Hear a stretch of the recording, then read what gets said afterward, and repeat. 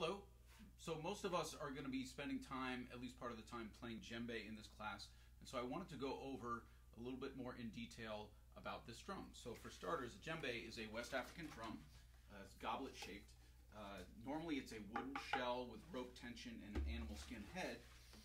And we are going to be using, for multiple reasons, we're going to be using synthetic head drums like this one.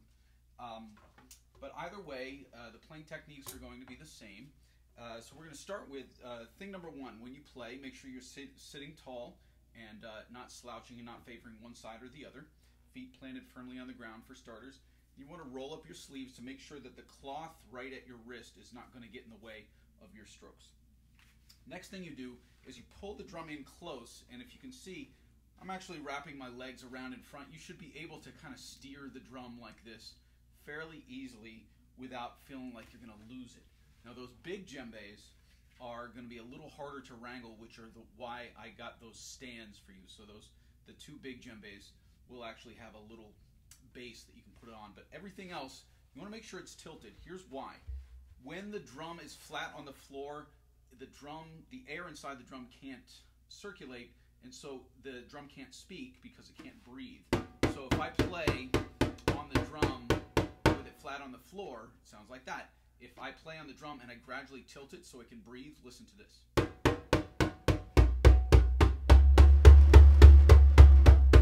Right, it's causing stuff in the room to buzz. It's it's that it's that much of a difference. So you want to make sure you keep it tilted. Just a, an inch or so off the ground is, is plenty.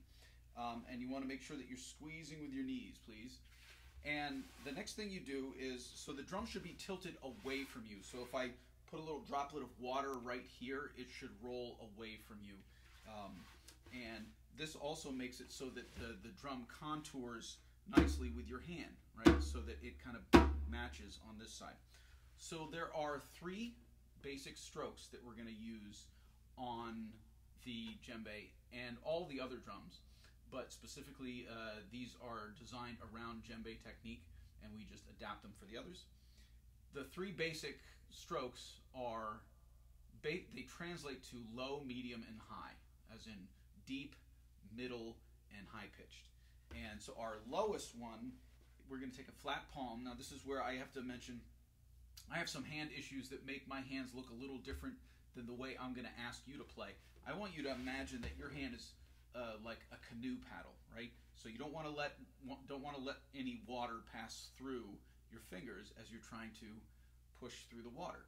And so when you play all of these tones, except for the uh, the last one, uh, we want to keep our fingers together. So fingers together, and your thumb can be kind of relaxed and at, at the side. But for our first sound, the low sound, which is called a bass, bass, you want to imagine just playing with the, the circular part of your palm, and you want to get as deep a sound as you can, and that is accomplished by playing in the center. So just play that with me. Ready, go. Other hand. Ready, go.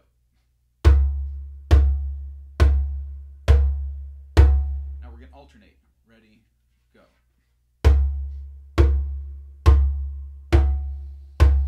Again, ready, go. Now we're going to double the speed ready and go and. Again, ready and go and. Make sure you're alternating. Keep going. Two, again, keep your hands moving up so that the hand doesn't muffle the. So here's the way you don't want to play it like this. Right, so imagine that there is anti-gravity happening. So that's bass. That's our lowest sound. That's our deepest sound. Sometimes I'll, I'll call it a thud. If we're talking about conga playing, uh, the middle of the drum on this conga, for example, right here, I'd call it more of a thud and less of a boom, right? But either way, we're going for the deepest sound.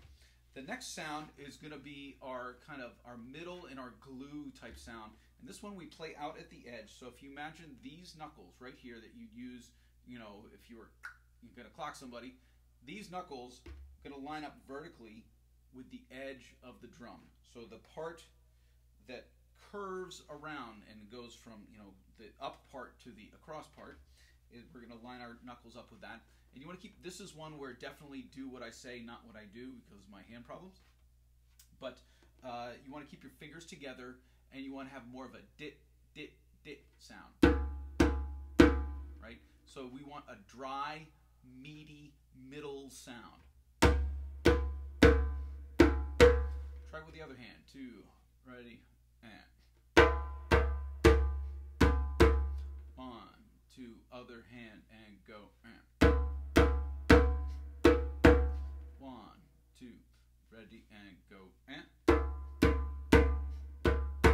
right. So that's tone. So we have bass. And then let's try that again. So we're going to do four tones and then the clave rhythm on the, uh, I'm sorry, four bass and then the clave rhythm on the tone.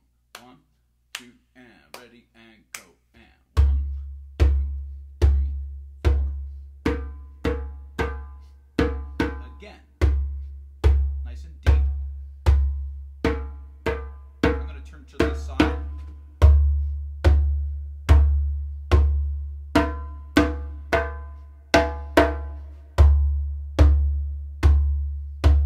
Last time.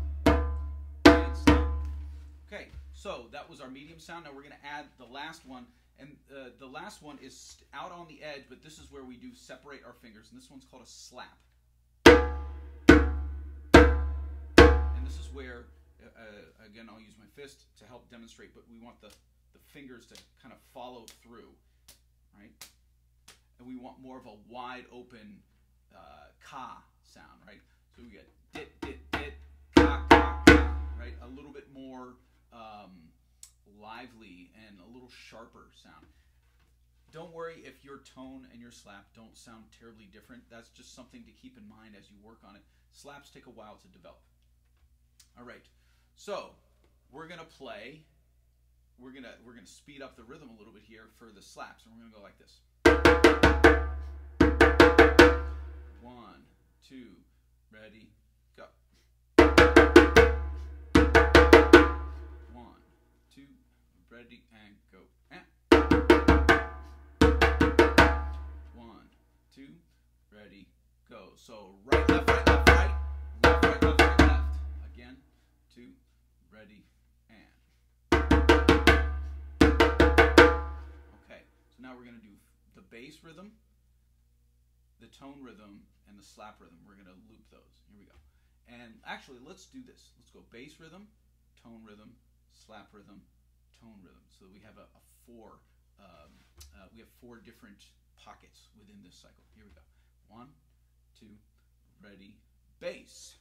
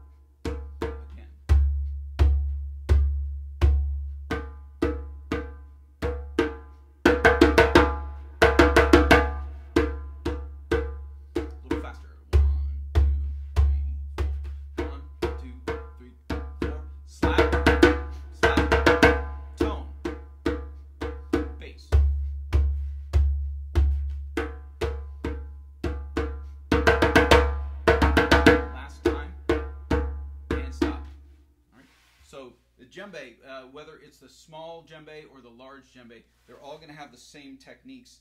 And the cajon, conga, and darbuka techniques and tubano techniques are all going to be based off of the similar type of idea of middle is low, edge is high.